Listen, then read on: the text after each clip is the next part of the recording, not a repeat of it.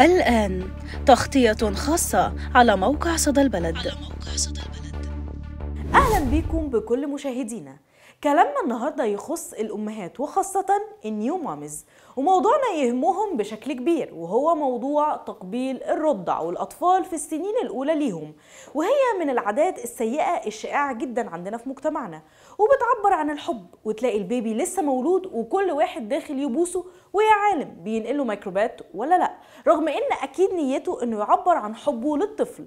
لكن المشكلة إن التقبيل ده بيسبب ضرر كبير على صحة الطفل وبتتجاهله كتير من الأمهات.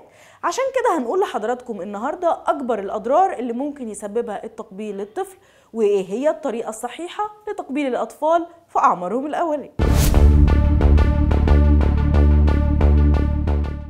موقع WebMD الطبي قدم مجموعة من المخاطر اللي ممكن تصيب الطفل عند تقبيله وأولها طبعا نقل العدوى وده لأن الأجهزة المناعية عند الأطفال في المراحل العمرية الأولى بتكون متطورة.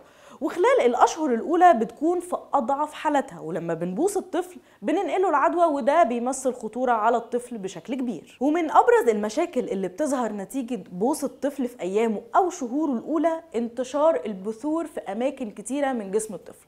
ومن الممكن إنها تبقى مشكلة طويلة الأمد بيعاني منها الطفل وممكن لا قدر الله توصل بيه للوفاة. وكمان الالتهاب الفطري بيظهر في لسان الطفل وبينقل للثة وكل أجزاء الجسم. وطبعا من أهم أخطار تقبيل الطفل إنه ممكن يعرضه لفيروس الهربس. والفيروس ده بيسبب قرح وحبوب على الشفتين وداخل الفم. وكمان نتيجة احتكاك البشرة بين الكبار والأطفال حساسية الوجه والجلد من مستحضرات التجميل اللي بتضر الغدد الصماء وممكن لا قدر الله تسبب الإصابة بالسرطان. وتقبيل الأطفال من مستخدمي المواد دي بيعرضهم للإصابة بالحساسية. وبرضه لازم تعرفي إن الرضع عندهم جهاز مناعة ضعيف في السنين الأولى. عشان كده لازم أي شخص يتأكد من نظافة إيده قبل ما يتعامل معاهم أو يبوسهم. كمان فيروس المعدة من أخطار التقبيل وده لأن قبلة واحدة من شخص بالغ بيحمل الفيروس بتؤدي لإصابة الطفل بضرر. وممكن يصاب الطفل الرضيع بالحمى وفقدان الشهية والطفح الجلدي. وطبعا في بعض الأمراض الخاصة بالجهاز التنفسي اللي ممكن تتنقل من الكبار للطفل الرضيع عن طريق التقبيل زي نزلات البرد الشديدة والأنفلونزا. والأمراض دي ليها طبعا بعض الأعراض اللي بتظهر على الطفل الرضيع من اللحظة الأولى لنقل العدوى زي المغص الشديد والإسهال وانسداد الأنف وصعوبة التنفس. جينا بقى للسؤال اللي كل الناس بتفكر فيه دلوقتي. طبعا عندنا أسبوع ورايحين نزور واحدة صاحبتنا لسه والدة وعايزين نبوس البيبي الجديد وما نأذيهوش. نعمل إيه؟ إيه هي الطريقة الصحيحة لتقبيل الطفل الرضيع؟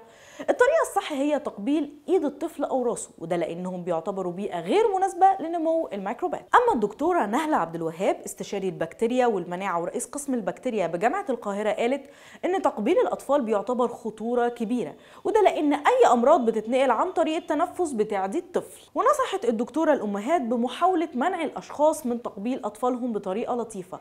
لو حصل اغسلي وشه فورا بالميه والصابون وانه يفضل التوقف عن ثقافة التقبيل نهائيا وده تجنبا للأمراض التنفسية اللي بتتنقل من جسم لآخر خاصة فيروس كورونا ومتحوراته. وبكده نكون قلنا كل المعلومات عن أبرز عادة سيئة بتخص مجتمعنا وهي تقبيل الأطفال حديثي الولادة. بنشكر حضراتكم وإلى اللقاء.